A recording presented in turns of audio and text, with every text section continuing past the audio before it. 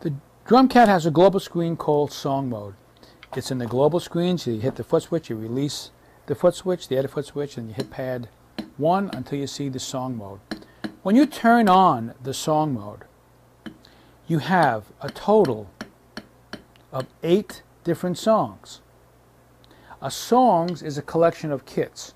So for example, I can set step 1 to go to kit 10 and step 2 to go to kit 12, let's say, and 3 to 20, and then have it loop.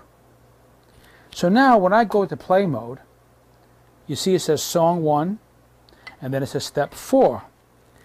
As I start stepping through those foot switches, it's going to jump from kit 10 to kit 12 to kit 20 to kit 10 because it's in that collection. Now there's a shortcut, by the way. When you step on foot switch number 2 and you hit pad number 2, you can jump to song 2, song 3. If I want to go back to song 2, I hit pad 1.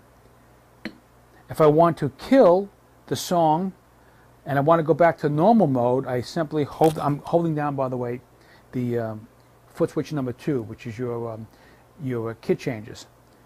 If I hit pad number 4, it goes off. Hold, hit it again, hold the foot switch down, the kit uh, change foot switch and hit that pad, it goes on. Off, on. And you notice you have to hit it twice. This is for your protection.